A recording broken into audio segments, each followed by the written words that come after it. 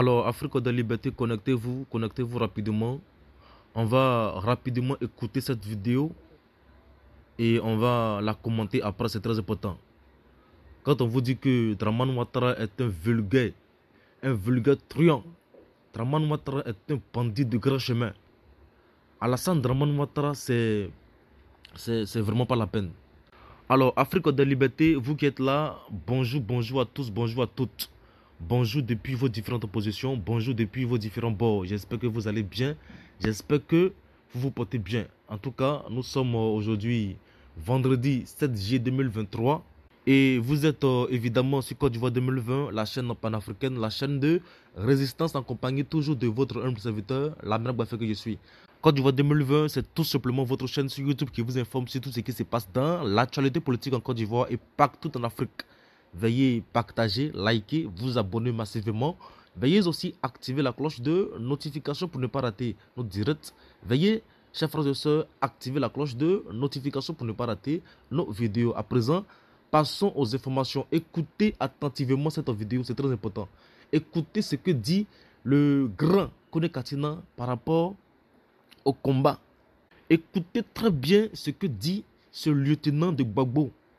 Parce que les choses sérieuses vont commencer en Côte d'Ivoire. Et les Ivoiriens, comme je vous ai dit hier, il faut vous mettre en ordre de bataille. Il faut être prêt pour le mot d'ordre à venir. Le PPACI a décidé de frapper là où ça fait mal. Écoutez attentivement et tout à l'heure, on va donc revenir pour commenter et aussi pour vous donner les informations liées à la Côte d'Ivoire, liées à l'Afrique, tout simplement. On y va, on écoute M. Kone Katina. Partagez la vidéo s'il vous plaît, partagez puis mettez le pouce bleu. Il faut liker, voilà. Un instant.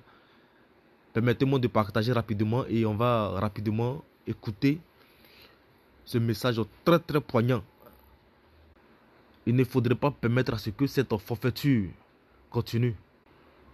À un moment donné, il faut savoir dire stop. Et c'est ce que le PPACI a décidé de faire. En tout cas, si rien n'est fait, le PPACI a décidé de frapper là où ça fait mal. Écoutons attentivement cette vidéo et à tout à l'heure. Comme la CE et le gouvernement ont décidé de devenir hors la loi. Un hors la loi, c'est celui qui n'applique pas la loi. C'est des hors la loi qui ont décidé, eux, que lorsqu'une décision de justice ne rentre pas dans leur, ne, rentre pas dans leur, euh, comment dans leurs intérêts, eux, ils ne l'appliquent pas. Ils choisissent d'appliquer les décisions qui les arrangent. On est dans le Far West. Exactement dans le Far West. Donc, ils se sont décidés de devenir hors la loi. En prenant en otage la justice, ils n'ont plus d'autre choix que de nous battre autrement. Ils n'ont plus d'autre choix que de nous battre autrement. Puisque un citoyen, quand il a un problème, il va voir la justice. Et la justice dit, dit vous avez raison, et prend une décision. Mais le juge qui a pris la décision, ce n'est pas lui qui applique. C'est vrai, la décision est vêtue, d'autorité, la chose jugée, mais ce n'est pas lui qui l'a pris sur le terrain, c'est l'État. C'est le président de la République qui est garant de l'indépendance de la justice et garant de l'exécution des décisions judiciaires. Donc, lorsqu'un gouvernement décide, moi je trie des décisions, il n'y a pas autre expression, c'est un hors la loi. C'est un gouvernement hors la loi.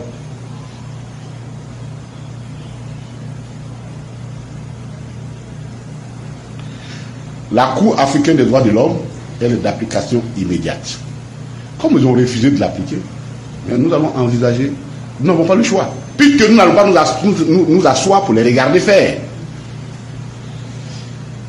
Donc, depuis le début, notre parti a arrêté un chronogramme, un plan d'action qui décline.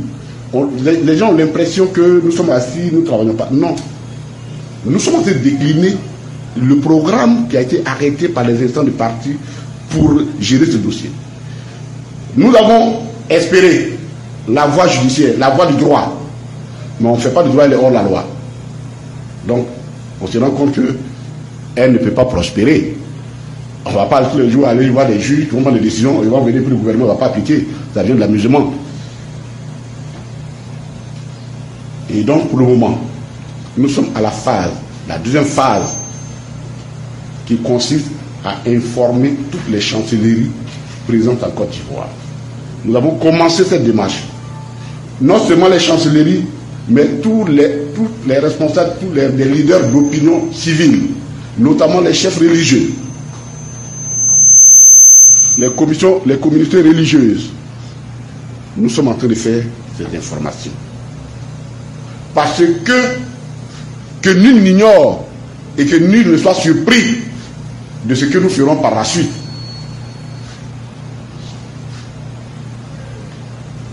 Donc nous, avons, nous sommes aujourd'hui dans la phase d'information.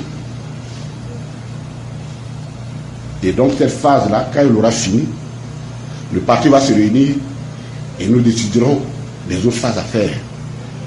Dans tous les cas de figure, il y a des actions qui seront menées. Le moment et les modalités de ces mises en œuvre là sont à la discrétion de notre parti. Sur ce point, nous voulons demander à nos militants de rester très mobilisés. Des mots d'ordre vont arriver. Oui, il en aura. Dans tous les cas, il y aura des mots d'ordre qui vont arriver. Parce qu'on ne peut pas s'asseoir, ce n'est pas possible.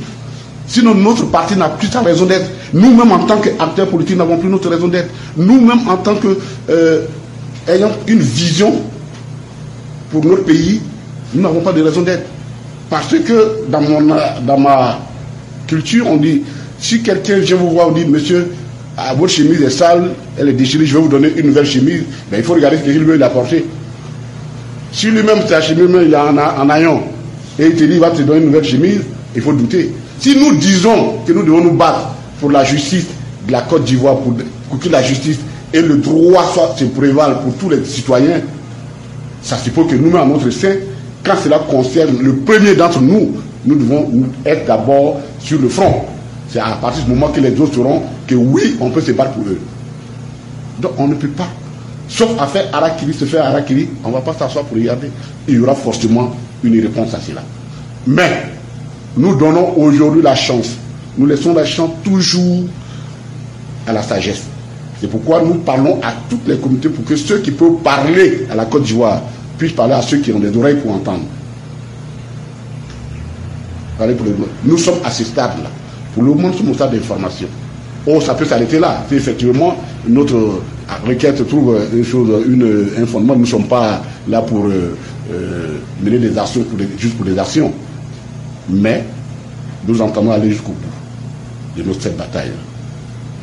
Au demeurant, la question du président Laurent Gbagbo pose de façon plus large et rend encore davantage crucial et, et urgent la révision et la réforme, la réforme, et même pas, on va pas le terme, la refondation de la CEI. Parce que cette CEI-là, chaque jour qui passe, donne la preuve qu'elle est fondamentalement une CEI sous contrôle exclusif du régime RHDP. Est donc confligène. C'est une CEI confligène. Et c'est normal. Moi, connais Katina, vous me prenez, vous m'envoyez à la CEI pour être président de la CEI. Les premiers cas, il y a défense, c'est le cas de Laurent Babo. C'est tout. Eh, je suis partisan. Je suis partisan. Donc, c'est pas parce que vous allez m'enlever de là pour aller m'envoyer à la CEI que du jour au lendemain, je deviens euh, jour. Non, c'est pas vrai. C'est pas vrai. Ne jouons pas avec l'esprit des Ivoiriens, des citoyens. Un représentant, parce que la CEI, les thèmes sont clairs. On dit les membres représentants. Tel, tel, tel.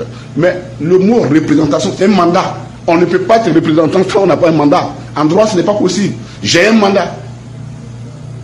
Mais quand on a un mandat, on agit en fonction des intérêts du mandant. Donc, tous ceux qui sont là-bas, chacun se bat pour l'intérêt. C'est pourquoi Sourou peut se permettre d'éliminer Parce qu'il il a une, une petite partie d'autorité qu'on lui a donnée. L'adversaire le plus coréen de son, mandat. Donc, une association de représentants ne confère pas neutralité. Ne confère pas neutralité.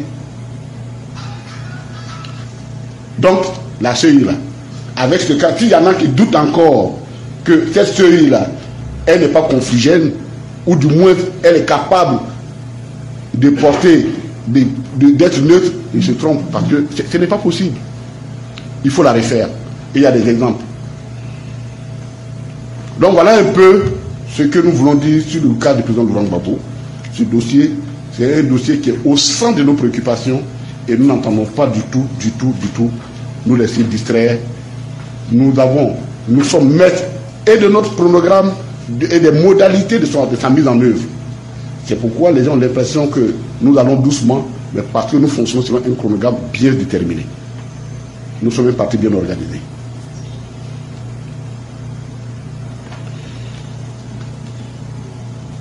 Et la réforme, la CEU devient pour nous.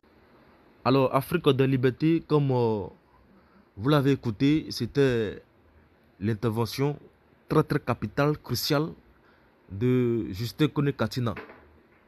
Voilà, il a eu à parler très fort. Il a eu à parler en tout cas très très fort après le rejet des réclamations comme ça de réintégration de Laurent Gbagbo sur la liste électorale. C'est une mise en garde. C'est une mise en garde au gouvernement d'Alassane Draman Ouattara. Ils ont décidé de se battre autrement.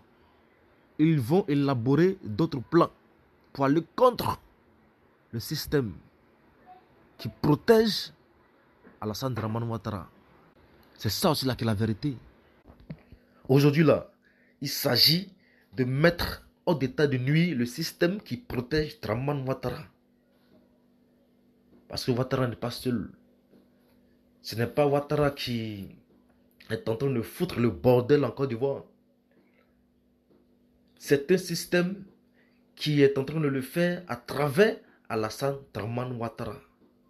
Donc le PPACI a décidé de se battre autrement parce que Draman Ouattara tout simplement ne veut pas désobéir à ses maîtres comme l'a fait Macky Sall au Sénégal. Et oui, Macky Sall lui l'a fait au Sénégal parce qu'il a osé en tout cas aller contre la décision de ses maîtres.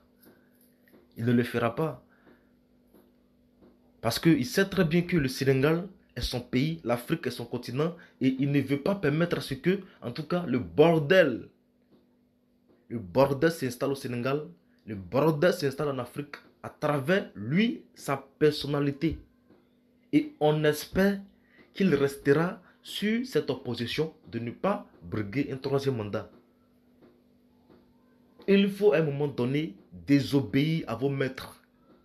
Il faut à un moment donné désobéir à vos patrons pour la survie de vos différents peuples, pour la survie de notre continent, pour la survie du pays qui vous a accueilli, de la survie du pays que vous gouvernez. Traman Ouattara, il faut un moment donné désobéir à la France. Et Macky Sall déjà, c'est ce qu'il a fait parce qu'en voyant ce, ce, petit moment de crise, ce que ça a créé, des mots que ça a créé, c'est-à-dire ce petit moment seulement de crise au Sénégal, mais quand il a vu cela, il s'est dit, bah non, on ne peut pas continuer ainsi. Si c'est à cause de moi que cela est en train de se produire aujourd'hui au Sénégal, mais il faut que je mette bas la terre pour ne pas que ça puisse arriver parce que c'est aussi les enfants des gens, c'est aussi le peuple du Sénégal. Et on a besoin de tout le monde pour la reconstruction de l'Afrique. Pourquoi est-ce que maintenant il faut éliminer les frères et sœurs africains alors qu'on a besoin de tout le monde pour notre continent africain? On n'a même pas encore peuplé, il ne serait que le quart de notre Afrique. Maquis l'a compris. Et les gens comme le Maquis, c'est pourquoi aujourd'hui, ils sont félicités à travers le monde. Et nous, on rajoute encore, on l'espère qu'il restera sur sa position. On espère qu'il n'est pas lui aussi en train de nous faire le coup. Ce coup qu'a fait Alassane Traman Ouattara à Abidjan.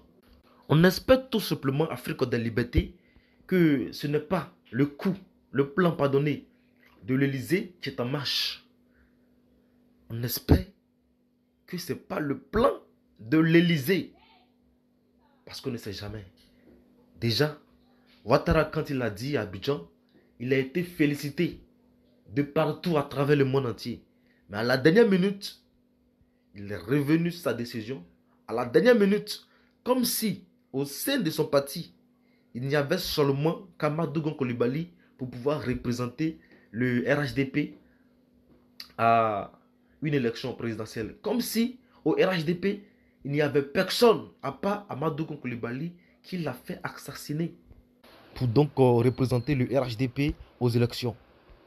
Donc, on espère que ce n'est pas le coup, le coup donc euh, dramatistique qui est en train de se mettre en place au Sénégal. On espère tout simplement. Donc, euh, le PPACI a décidé comme ça de réagir face, en tout cas, à cette forfaiture de Draman Ouattara depuis la Côte d'Ivoire. Il faut les soutenir. Il faut les accompagner. Il faut se réorganiser. Il faut se mobiliser. Il faut faire passer l'information. Il faut dire à ton voisin que bientôt, le mot d'ordre sera lancé. Il faut dire à ta voisine que bientôt, les mots d'ordre vont arriver. C'est ce qu'a dit M. Justin Kone Katina. Il dit, dans tous les cas, des mots d'ordre vont arriver. Et il a insisté dessus. En précisant que, toutefois, en tout cas, il laisse encore le temps à ce gouvernement. Il laisse encore le temps à Alassane Draman Ouattara. Il lui laisse une chance encore de changer les choses avant qu'il ne soit trop tard. Parce que il a insisté sur le fait que le mot d'ordre va arriver. Et ça va arriver. Donc, dis à ta voisine, dis à ton voisin. En tout cas, soyons tous prêts. Parce que bientôt, les mots d'ordre vont tomber. Ça va tomber, ce n'est pas un débat. Et Ouattara, Draman Ouattara, en tout cas, va sortir par la petite porte de la honte. Quand il était temps, quand on l'a interpellé, quand les autres même l'ont interpellé, quand les autres vassaux chefs d'État l'ont interpellé, quand il est l'heure, il est l'heure, en tout cas, il faut savoir partir, c'est très important. Quand il est l'heure, il faut savoir désobéir. Pour le continent africain, pour la Côte d'Ivoire, aujourd'hui qui est en train de sombrer totalement, il faut savoir démissionner, il faut savoir partir, il faut savoir libérer le tabouret. Il ne faudrait pas s'entêter. Il ne faudrait pas s'entêter. Et aujourd'hui, là, le PPACI dit ce qui va arriver, ça sera entièrement de votre faute. Et ça, ce n'est pas un débat.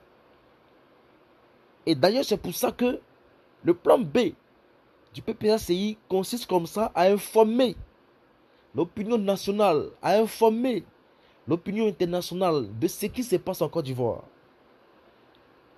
de l'injustice qui est à un niveau qui ne dit plus son nom en Côte d'Ivoire.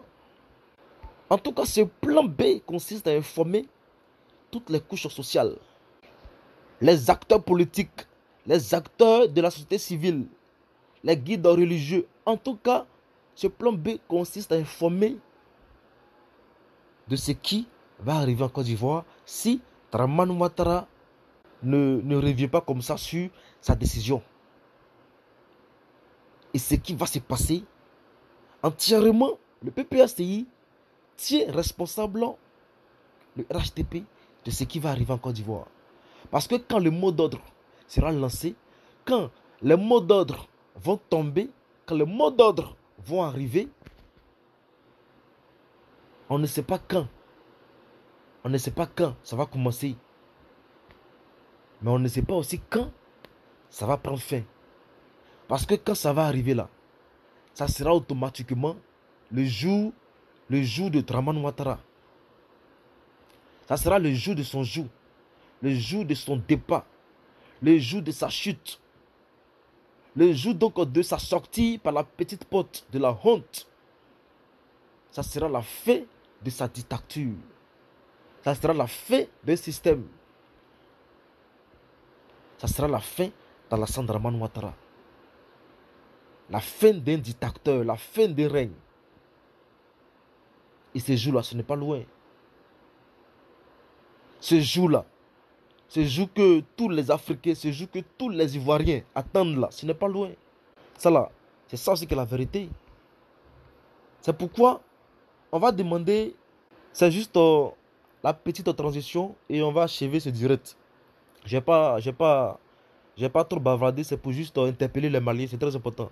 C'est pour dire au gouvernement d'Assimi Goïta de, de, de, tout mettre en œuvre. S'ils peuvent mettre en place, c'est-à-dire un système, un système qui va consister à former des hommes pour suivre, pour suivre les actions de la MINUSMA jusqu'à leur départ. Parce que ce qui est en train de se passer aujourd'hui au Mali, là, ce n'est pas normal. Ce matin, j'ai vu hein, que hier, la MINUSMA a été attaquée à Gao. Hier, il y a eu une attaque armée contre un convoi de la MINUSMA à Gao.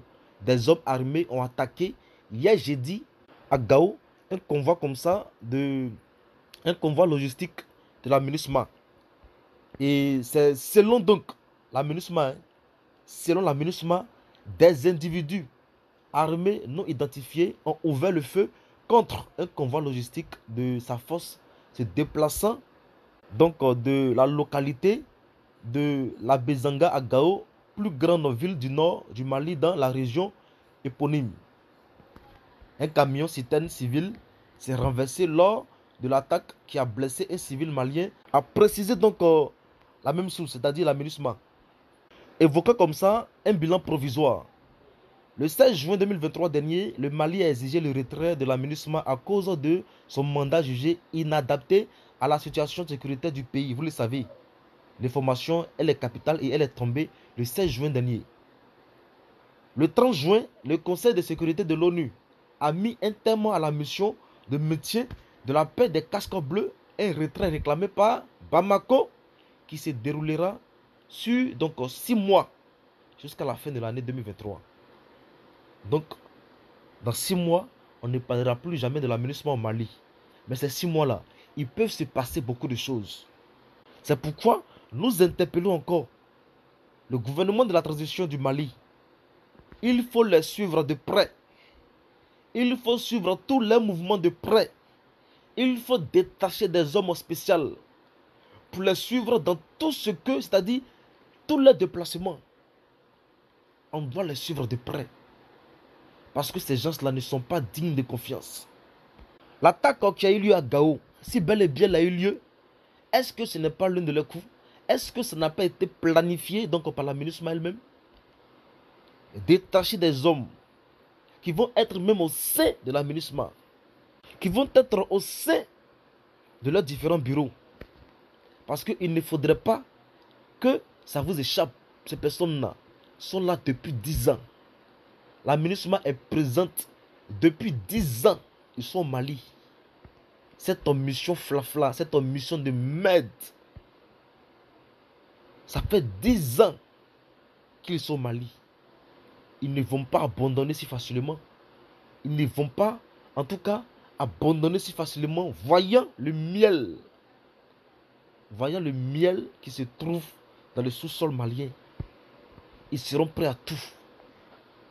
Ils seront prêts à tout. Il faut les suivre de près. Déjà, l'ordre a été donné et ça a été confirmé qu'ils doivent partir. Donc, ils n'ont plus le droit d'exercer quoi que ce soit sur le sol malien. Actuellement là, c'est vous qui devez comme ça les escorter dans tout ce que hein, ils vont entreprendre comme mission qui reste pour enfin quitter définitivement le sol malien. Donc actuellement, si on veut le dire, si on peut le dire, pardonnez, ils sont sous votre responsabilité. Ils sont tous donc sous la responsabilité du gouvernement de transition. Donc, surveillez-les. 10 ans, ce n'est pas 10 jours. 10 ans, ce n'est pas 10 mois. Surveillez-les parce que ces gens-là, à cause de vos ressources, à cause de nos ressources, ils ne vont pas abandonner si facilement parce que sans nous, ils ne sont rien. Ils se font appeler puissance alors qu'ils n'ont rien. Ils n'ont rien. En tout cas, pour se faire appeler puissance, ils se font appeler puissance à cause de nous, grâce à nous. Donc, euh, ils ne vont pas abandonner si facilement. Soyez prêts, soyez vigilants. Donc, euh, Afrique de liberté, c'était le petit message que j'avais à faire passer ce vendredi 7 juin 2023 matin. Il faut dire que d'abord, le PPACI a décidé de monter au créneau.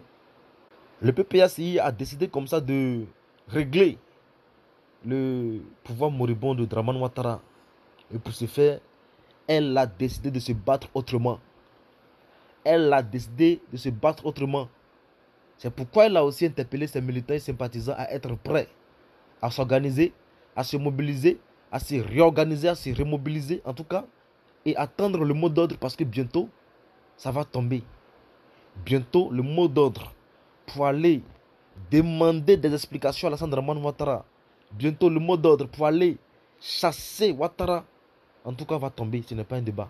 La révolution aujourd'hui en Côte d'Ivoire pour mettre Ouattara dehors va lieu. Cette révolution a besoin de tous ses enfants. Chers parents du Nord, chers frères et sœurs Bousmani, on a été tous coupables de ce que ce monstre soit à la tête de notre pays, la Côte d'Ivoire. Soyons encore responsables de son départ.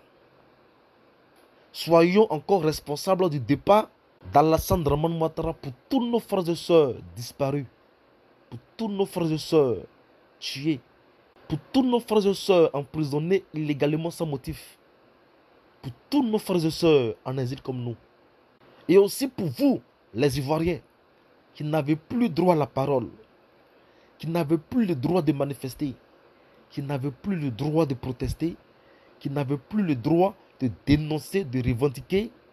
Pour vous aussi, chers peuple de Côte d'Ivoire, il faut se lever, il faut se révolter pour mettre fin à ce régime moribond. C'est très important. Afrique de liberté, c'était tout simplement l'intervention de votre humble serviteur, l'Amérique Baffer, et aussi de M. Kone Katina.